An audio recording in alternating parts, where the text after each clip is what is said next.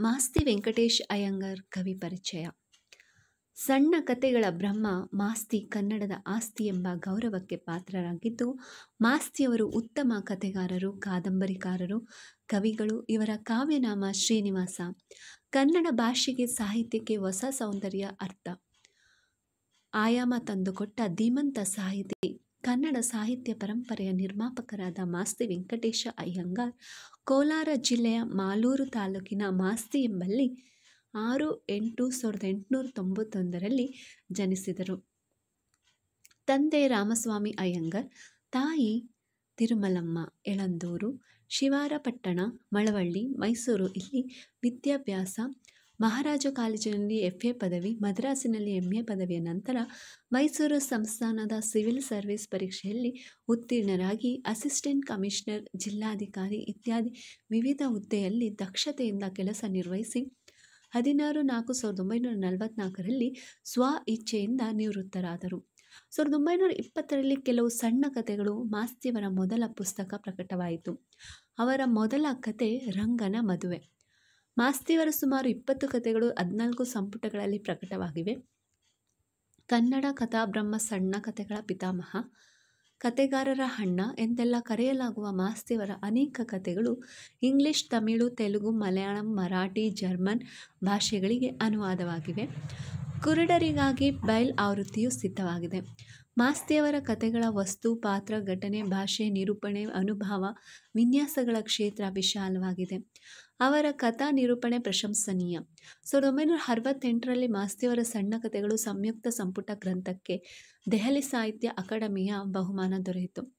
ಎರಡನೇ ಸಂಪುಟ ಗುರುದಕ್ಷಿಣೆ ಎಂಬ ಹೆಸರಿನಲ್ಲಿ ತಮಿಳು ಭಾಷೆಗೆ ಭಾಷಾಂತರವಾಗಿದೆ. ಸಾವಿರದ ಒಂಬೈನೂರ ನಲವತ್ತೊಂಬತ್ತರಲ್ಲಿ ಚೆನ್ನಬಸವನಾಯಕ ಸಾವಿರದ ಒಂಬೈನೂರ ಐವತ್ತಾರರಲ್ಲಿ ಚಿಕ್ಕವೀರ ರಾಜೇಂದ್ರ ಐತಿಹಾಸಿಕ ಕಾದಂಬರಿಗಳು ಪ್ರಕಟಗೊಂಡವು. ಇವು ದುರಂತ ಕಾದಂಬರಿಗಳು. ಸಾವಿರದ ಒಂಬೈನೂರ ಎಂಬತ್ತ್ಮೂರರಲ್ಲಿ ಚಿಕ್ಕವೀರ ರಾಜೇಂದ್ರ ಕಾದಂಬರಿಗೆ ಜ್ಞಾನಪೀಠ ಪ್ರಶಸ್ತಿ ಬಂದಿದೆ. ಅವರ ಮೊದಲ ಭಾವಗೀತೆಗಳ ಸಂಗ್ರಹ ಭಿನ್ನಹ. ಸಾವಿರದ ಒಂಬೈನೂರ ಇಪ್ಪತ್ತೆರಡರಲ್ಲಿ ಪ್ರಕಟವಾಯಿತು.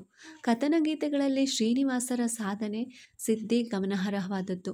ಸರಳ ಗರ, ಗೆಳೆಯನ್ನು ಸಾರ್ಥಕವಾಗಿ ಬಳಸಿಕೊಂಡಿದ್ದಾರೆ.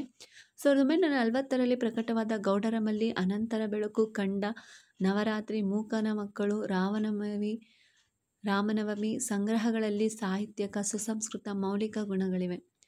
ಸಾವಿರದ ಒಂಬೈನೂರ ಎಪ್ಪತ್ತೆರಡರಲ್ಲಿ ಪ್ರಕಟವಾದ ಶ್ರೀರಾಮ ಪಟ್ಟಾಭಿಷೇಕ ಒಂಬತ್ತು ಸಾವಿರ ಸಾಲುಗಳಿರುವ ದೀರ್ಘಕಾವ್ಯ ಮಾಸ್ತಿಯವರು ಹಲವು ನಾಟಕಗಳನ್ನು ಬರೆದಿದ್ದಾರೆ. ಶಾಂತ, ಮಂಜುಳಾ, ಸಾಮಾಜಿಕ ನಾಟಕಗಳು, ಗೊಂಡ, ಕಾಕನಕೋಟೆ ಮತ್ತು ಯಶೋಧರ ಇವರ ಉತ್ತಮ ನಾಟಕಗಳು. ಇವರ ಕಾಳಿದಾಸ ನಾಟಕಕ್ಕೆ ಸಾವಿರದ ಒಂಬೈನೂರ ಎಂಬತ್ತ್ಮೂರರಲ್ಲಿ ವರ್ಧಮಾನ ಪ್ರಶಸ್ತಿ ದೊರಕಿವೆ. ಶೇಕ್ಸ್ಪಿಯರ್ನ ಕೆಲವು ನಾಟಕಗಳನ್ನು ಚಂಡಮಾರುತ ದ್ವಾದಶರಾತ್ರಿ ಲಿಹಾರ್ ಮಹಾರಾಜ ಹೆಸರಿನಲ್ಲಿ ಕನ್ನಡಕ್ಕೆ ಭಾಷಾಂತರಿಸಿದ್ದಾರೆ. ಮಾಸ್ತಿಯವರ ಆತ್ಮಕಥಾ ಭಾವ ಮೂರು ಸಂಪುಟಗಳಲ್ಲಿ ಪ್ರಕಟವಾಗಿದೆ. ನವರತ್ನ ರಾಮರಾವ್, ರವೀಂದ್ರನಾಥ ಠಾಕೂರ್, ಶ್ರೀರಾಮಕೃಷ್ಣ ಮುಂತಾದವರ ಜೀವನ ಚರಿತ್ರೆಗಳನ್ನು ಬರೆದಿದ್ದಾರೆ. ಅಂತರಗಂಗೆ, ಆದಿಕವಿ, ವಾಲ್ಮೀಕಿ, ಧರ್ಮ ಸಂರಕ್ಷಣೆ, ಭಾರತ ತೀರ್ಥ ಮುಂತಾದವು ಮಾಸ್ತಿಯವರ ಸಾಹಿತ್ಯ ಕೃಷಿಗೆ ಕಿರೀಟಪ್ರಾಯವಾಗಿವೆ ಭಾರತ ಮತ್ತು ಪಾಶ್ಚಾತ್ಯ ಕೃತಿಗಳ ವಿವಚನೆಯೊಳಗೊಂಡ ವಿಮರ್ಶೆಗಳು, ನೂರಾರು ಪ್ರಸಂಗಗಳು, ವಿಚಾರ ಸೂಕ್ತಗಳು, ನೂರಾರು ಲೇಖನಗಳು ಅವರಿಂದ ರಚನೆಗೊಂಡಿವೆ. ಮಾಸ್ತಿಯವರು ಇಂಗ್ಲಿಷ್ ಭಾಷೆಯಲ್ಲೂ ಗ್ರಂಥಗಳನ್ನು ರಚಿಸಿದ್ದಾರೆ. ಮಾಸ್ತಿಯವರ ಕೃತಿಗಳು ಸಂಖ್ಯೆಯಲ್ಲಿ, ಸತ್ವದಲ್ಲಿ, ಗುಣದಲ್ಲಿ, ಗಾತ್ರದಲ್ಲಿ, ವೈವಿಧ್ಯದಲ್ಲಿ ದೊಡ್ಡದು. ಕತೆ, ಕಾದಂಬರಿ, ಕಾವ್ಯ, ನಾಟಕ, ವಿಮರ್ಶ ಆತ್ಮಕಥೆ ಜೀವನ, ಚರಿತ್ರೆ, ಪ್ರಬಂಧ, ಜನಪದ, ಪತ್ರಿಕೋದ್ಯಮ, ವಿಚಾರ, ಸಾಹಿತ್ಯ ಮೊದಲಾದ ಪ್ರಕಾರಗಳಲ್ಲಿ ನೂರ ಇಪ್ಪತ್ತು ಕೃತಿಗಳನ್ನು ರಚಿಸಿದ್ದಾರೆ.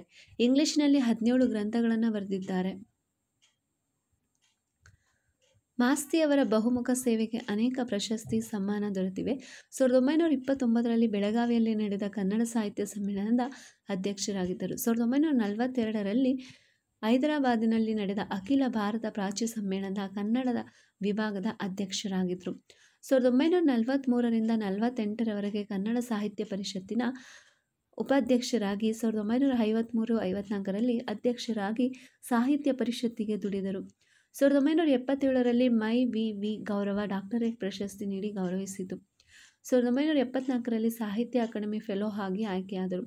ಸಾವಿರದ ಒಂಬೈನೂರ ಎಪ್ಪತ್ತೊಂಬತ್ತರಲ್ಲಿ ಕರ್ನಾಟಕ ರಾಜ್ಯ ಸಾಹಿತ್ಯ ಅಕಾಡೆಮಿ ಪ್ರಶಸ್ತಿ, ಸಾವಿರದ ಒಂಬೈನೂರ ಎಂಬತ್ತ್ಮೂರರಲ್ಲಿ ಜ್ಞಾನಪೀಠ ಪ್ರಶಸ್ತಿ ದೊರೆತವು ಕನ್ನಡಕ್ಕೆ ಅಖಿಲ ಭಾರತ ಖ್ಯಾತಿ ದೊರಕಿಸಿಕೊಟ್ಟ ಮಾಸ್ತಿ ಸಾವಿರದ ಒಂಬೈನೂರ ಎಂಬತ್ತಾರರಲ್ಲಿ ನಿಧನರಾದರು. ಅವರಿಗೆ ತೊಂಬತ್ತೈದು ವರ್ಷ ತುಂಬಿತ್ತು. ಈ ಕಿರುಪರಿಚಯದಿಂದ ಸುಮಾರು ಮೂರರಿಂದ ನಾಲ್ಕು ಕ್ವಶನ್ಸ್ಗಳು ಪ್ರಶ್ನೆಗಳು ನಿಮ್ಮ ಕಾಂಪಿಟೇಟಿವ್ ಎಕ್ಸಾಮ್ಸ್ನಲ್ಲಿ ಬರಬಹುದು. ಈ ವಿಡಿಯೋ ಲೈಕ್ ಆಗಿದ್ದಲ್ಲಿ ಲೈಕ್ ಮಾಡಿ, ಸಬ್ಸ್ಕ್ರೈಬ್ ಮಾಡಿ. ಇಂತಿ ನಿಮ್ಮ ಸುಮಾ ಯಶವಂತರಾವ್.